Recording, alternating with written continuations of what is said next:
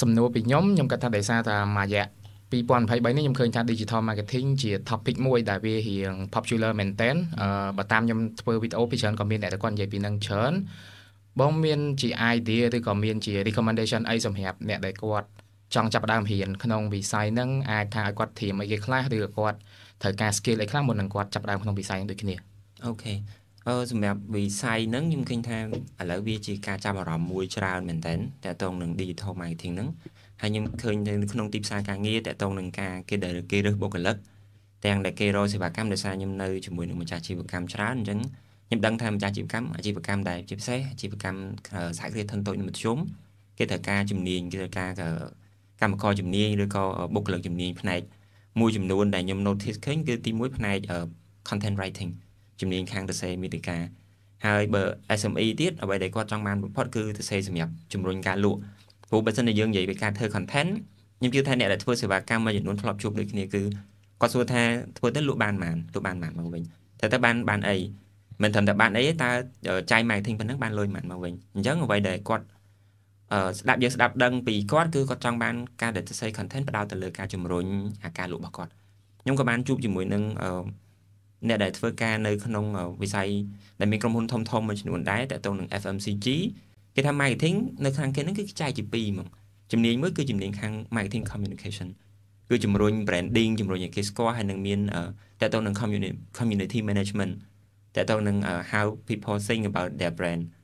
ប៉ុន្តែមួយផ្នែកទៀតដែលគេថាផ្នែកតទៅ marketing communication គេអត់សូវខ្វះទេអ្វីដែលគេខ្វះបើជាខ្វះផ្នែក trading អ្នកដែលធ្វើ marketing ជំរុញការលក់ នៅក្នុងហ្នឹងគឺធនធានហ្នឹងគឺខ្វះហ្មងអញ្ចឹង content content writing បើសិនជាផ្ដោតទៅលើនិយាយពី content គឺច្រើនណាស់យើងអាចបាន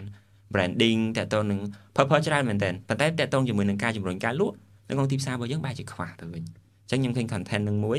ទី2តើតទៅជាមួយនឹង graphic design វានៅតែមែនតើតាំងពីប្រហែល10ឆ្នាំមុនតាំងពី10ឆ្នាំមុន graphic design សំខាន់មកដល់ឥឡូវគេនៅតែត្រូវការហើយនៅតែត្រូវការច្រើនមែនតើដោយសារឥឡូវហ្នឹងបណ្ដាញសង្គមណាក៏ត្រូវការ content ដែរ ហើយ content ទោះបីជាអ្នកទៅសេហ្នឹងទៅសេ content ល្អប៉ុណ្ណាក៏ដោយដល់ពេលណាតែ design ចេញមកអត់ស្អាតគឺវាអត់ដែរមានថាចុងក្រោយនឹងគឺស្លាប់រស់នៅលើការ design បើមិនយើងធ្វើយើងប្រើជាប្រភេទ static content ប្រភេទទី3គឺ short form video ហ្នឹងមក short form video ហ្នឹងឥឡូវនេះគឺ platform សឹងតែទាំងអស់ពីមុនយើងឃើញថាអត់តមាន TikTok ណា Facebook គឺគេអត់បដោតមានអត់តមាន real ទេ YouTube ក៏គេអត់តមានអា YouTube short ដែរគេធ្វើទៅតាមបោះតម្រងរបស់គេរៀងៗខ្លួនដល់ពេលឥឡូវនេះ គឺជាបរិបទដែលគេប្រើ short form video តែម្ដងប្រភេទវីដេអូបញ្ឈរអញ្ចឹងអ្នកដែលផលិតវីដេអូបែបវែងវែងក៏វានៅតែមានទីផ្សារដែរប៉ុន្តែ trend ខ្លាំងឥឡូវហ្នឹងគឺគេត្រូវការមនុស្សដែលមានជំនាញទី3ហ្នឹងគឺជំនាញផ្នែកផលិតវីដេអូខ្លីៗហើយទី4 advertising ទោះបីជាឥឡូវហ្នឹងវាមានបញ្ហាខ្លះទាក់ទងនឹងការផ្សព្វផ្សាយជាពិសេសដូចនៅយើងគេចំណាក់គេនិយមផ្សាយពាណិជ្ជកម្មលើ Facebook ទោះបីជាមានបញ្ហាមិនក៏ដោយមនុស្សនៅតែបន្តផ្សាយអញ្ចឹង ហើយគេក៏ងាកទៅកាន់ platform មួយចំនួនផ្សេងទៀតដែរដោយសារអីការផ្សាយជំនាញផ្សាយពាណិជ្ជកម្មវាជាជំនាញមួយដែលគួបផ្សំដោយសារបើសិនជាយើងធ្វើ viral វា go viral ពេលខ្លះទៀតអឺវាផ្ទុះខ្លាំងពេកយើងលក់អត់តាន់ប៉ុន្តែការផ្សាយពាណិជ្ជកម្មវាវាមានលក្ខណៈពិសេសមួយធ្វើឲ្យតែវាអស់លុយប៉ុន្តែយើងអាច control បានតែពេលណាដែលយើងទទួលភ្ញៀវបានប៉ុណ្ណាយើងបុកតែប៉ុណ្ណាពេលដែលយើងចង់ឈប់យើងឈប់បានប៉ុន្តែសម្រាប់ការដែលធ្វើបែប viral តែពេលដែលវាផ្ទុះខ្លាំងយើងទៅបិទមិនយើងទៅបញ្ឈប់វាមិន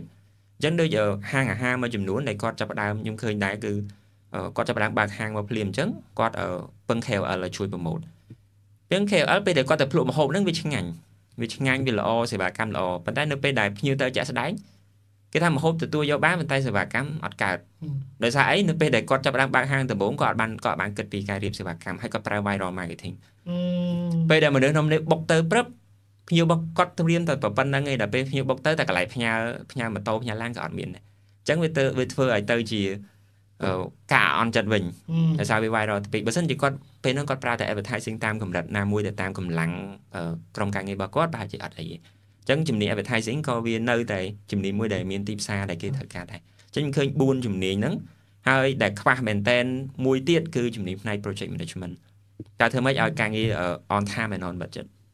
តាន់ពេលហើយត្រូវតាមលុយដែលមានអញ្ចឹងអានឹងក៏ខ្វះដែរបើនិយាយពីជំនាញទាំង5ហ្នឹងជំនាញ4សឹងតែមានមនុស្សធ្វើច្រើនប៉ុន្តែវានៅតែខ្វះអញ្ចឹងគាត់តែវាមានមនុស្សចូលមកក្នុងទីផ្សារនឹងច្រើនអញ្ចឹងបើសិនជាអ្នកដែលចាប់ចាប់ផ្ដើមថ្មីអាចចាប់ផ្ដើមពី4ហ្នឹងសិនហើយអ្នកដែលចាប់ផ្ដើមយូរហើយខ្ញុំឃើញជំនាញមួយដែលចាំបាច់គឺ project management ដោយសារអឺខ្ញុំគិតថាបើសិនជាអ្នកធ្លាប់ធ្វើជាមួយ SME ច្បាស់ជាធ្លាប់ឮគាត់ល្អព្រោះបើខ្ញុំនៅចិត្តគាត់ខ្ញុំឮគាត់ល្អច្រើនថាដាក់ការងារទៅវាធ្វើអត់តាន់ ដាក់ការងារទៅក្មេងៗហ្នឹងគាត់មានអារម្មណ៍ថាដាក់ការងារទៅឲ្យពួកគាត់ហ្នឹងពេលខ្លះទៀត plan លុយប៉ុណ្ណឹងប៉ុន្តែដល់ពេលធ្វើទៅចេះទីលុយថែមដោយសារអីយើងអត់មាន project manager នៅក្នុងអាការងារហ្នឹងឯងនៅចន្លោះកណ្ដាលនៃការងារហ្នឹងគឺការងារហ្នឹងគឺធ្វើ direct ជាមួយនឹង freelancer ជាមួយនឹងអ្នកជំនាញតែម្ដងដល់ពេលយើងអត់មានអ្នកគ្រប់គ្រងអា timeline នឹងលុយចឹងការងារហ្នឹងពេលខ្លះវាមានលឹះលុយពេលខ្លះទៀតវាវាអាចនឹងមានបញ្ហាដូចជាធ្វើអត់តាន់ពេលឬក៏អឺធ្វើធ្វើតាន់ ដល់ម៉ោងយ៉ាងទៅមានអារម្មណ៍ថាដូចខ្វះនេះខ្វះនោះអញ្ចឹង project manager ក៏ role មួយសំខាន់ដែរយើងឃើញថារវាងអាជីវកម្មជាមួយនឹងអឺ